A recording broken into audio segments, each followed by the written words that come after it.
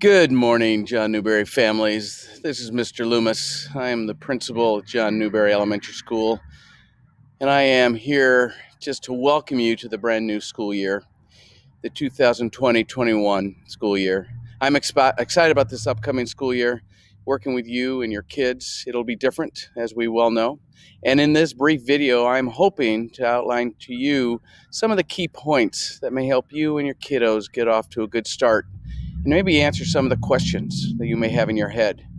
I know you must be anxious for this upcoming school year, but I'm here to let you know we got this. Together, we can do this. The year will be different with remote learning, and we have learned lots from last spring. And I know all of our t- teachers are here to do their best to ensure that all students are continuing to learn and to grow together. Together, we can do this. Learning for all, whatever it takes. That is the mission statement at John Newbery. Together, as a team of staff, students, and parents, we can make a difference for each and every one of our kids. We got this. Let me start by beginning that we have a new learning management system called Canvas. Most of you were exposed to either Class Dojo or Google Classroom last spring, now, Canvas is the one stop shopping for all of our kids, grades K through 12. Canvas is going to make this whole process a lot easier for families with kids and, that have students in different grade levels and in different schools. You'll be learning more about Canvas in the days to come. The beginning of the school year will look different. We're going to begin our school year at the elementary level with Launch to Learn days. These are days that will take place between August 26th and September 3rd. Launch to Learn days are set up for you and your classroom teacher to meet and to start developing the relationship that is so important to your students' success in our schools. These meetings will be offered to you and your child in person, or you may do them virtually sometime throughout the first two weeks of school. We will be contacting families starting this coming Monday uh, to set up these launch to learn meetings. It'll be very important for you and your child to meet with your teacher during this time so that you have a better understanding of how we can support you in the upcoming weeks and months. Meetings are scheduled for about an hour, and we ask that you leave your other children at home so just so you and the child that is working with the teacher can have some real quality time together. Please know that we will be practicing social distancing cleaning the room space between each visit, and we want to protect you and our staff. So look forward to some more information coming out next week. During Launch to Learn, what you'll be doing at these meetings will focusing on developing relationships between you and the teachers, establishing some of the routines and structures that you may have in the upcoming weeks, creating Canvas accounts, We'll be distributing technology if you do not have yours yet. We'll be distributing educational books and resources for you to use in the coming months. We will probably be giving everyone a, uh, a, a formative assessment to see where your child is in reading. So, we also want to spend some time here determining the needs that you may have. It'll be a great time for you to share with your teachers some of the specifics about your child. And we want to provide technological support if you need it to help to begin a very smooth start in this remote learning. So, what will these first two weeks look like for the kids? We'll start the day beginning August 26th at 7:45 with a virtual meeting with your teacher to go over the student work that should be done during the particular day. And every day between August 26th and September 3rd, there will be a 7:45 meeting between you and your classroom teacher.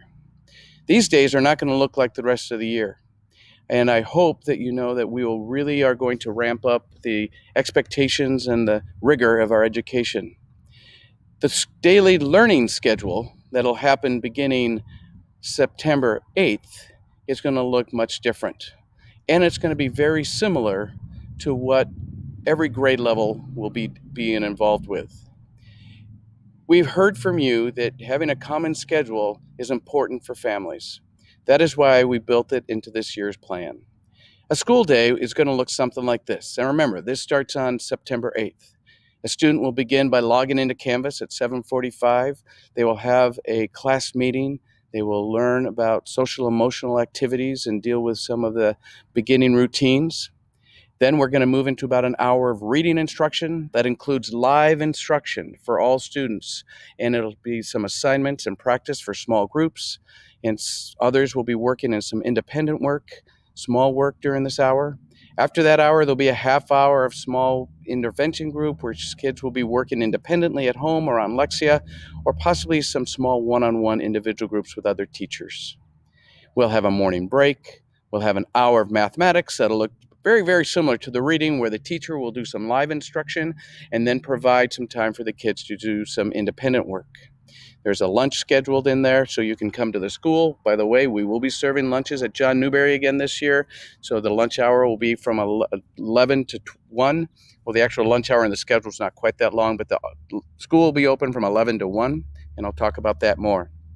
In the afternoon, it's going to be more what we call asynchronous more video recorded lessons that students will be looking at at their time. This will be recorded lessons in science and social studies. There will be time for our art, music, library, and music to have a recorded lesson, and students will be required to respond to those lessons. There'll be another break scheduled in the afternoon. And the most one of the most important parts of this whole project for us is the afternoon. We plan an hour and 15 minutes of some one on one conference calls, visits with parents, where our teachers will be reaching out to families and individual students to support them in their individual needs. The schedule will look the same on Monday, except that it will start later on a late start. So we hope that this schedule works for you. You will be getting a hard copy of this schedule. It'll be coming to you so you can see it. It'll also be posted on our website very shortly. Communication is the key to working together successfully, and we will continue to use the Remind app. Many of you used the Remind app last year with your teachers. This year, we'll be using the Remind app as a school wide program. We will be using it for announcements, for getting information to you. It'll be very important for you to make sure that you have a working cell phone number on file here so we can text you inf- information from your teacher and our school. You can also use the Remind link in your email if you wish. There's more to this to come, but if you are not receiving text messages or messages from the school during your teacher during the next coming week, it may mean the information you have with us needs to be updated. Please call the school and talk to someone so that we can get the correct information in our system. We'll also continue to use the school messenger phone system. The phone system will be a great way of communicating with you as well. If you have not already, you'll be getting a letter from myself, and later in the week, you will receive a letter from your teacher. Please keep your eyes open for that. It'll have a lot of information of what is happening in things that will help you make better decisions to get your kiddo ready for school.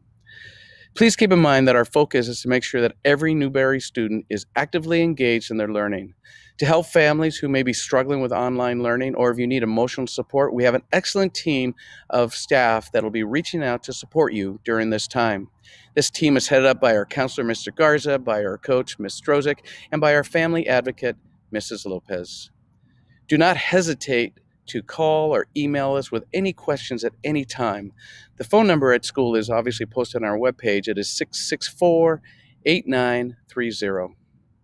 Email addresses for myself and for the teachers are included in the welcome letters, but there is also a link can easily be found on the Newbery website under staff link.